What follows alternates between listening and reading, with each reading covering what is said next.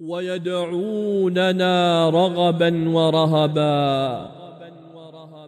من أدب الأنبياء وأهل الإيمان أنهم يدعون الله بعد أداء الفرائض وحق العبادة.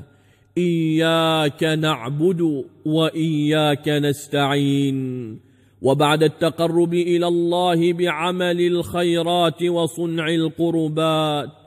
إنهم كانوا يسارعون في الخيرات ويدعوننا رغبا ورهبا لعلمهم أن أحب العمل إلى الله عمل الفرائض وأن التقرب بالنوافل يرفع المخلوق إلى درجة حب الله له ومن أحبه الله نال مناه وبلغ من الخير مداه وما تقرب الي عبدي بشيء احب الي مما افترضته عليه ولا يزال عبدي يتقرب الي بالنوافل حتى احبه اللهم فقهنا في الدين وعلمنا التاويل والهمنا رشدنا. وصل اللهم وسلم على نبينا محمد وعلى آله وصحبه أجمعين.